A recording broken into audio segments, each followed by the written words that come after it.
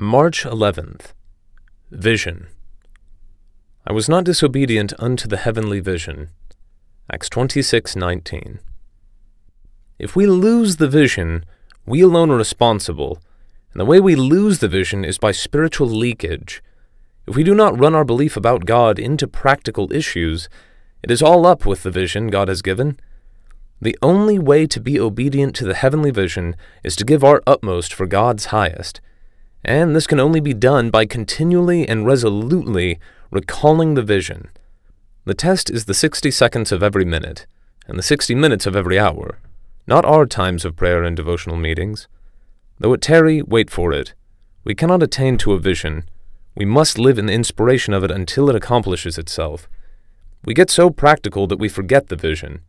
At the beginning, we saw it, but did not wait for it. We rushed off into practical work and when the vision was fulfilled, we did not see it. Waiting for the vision that tarries is the test of our loyalty to God. It is at the peril of our soul's welfare that we get caught up in practical work and miss the fulfillment of the vision. Watch God's cyclones. The only way God sows his saints is by his whirlwind. Are you going to prove an empty pod? It will depend on whether or not you are actually living in the light of what you have seen. Let God fling you out, and do not go until he does. If you select your own spot, you will prove an empty pod.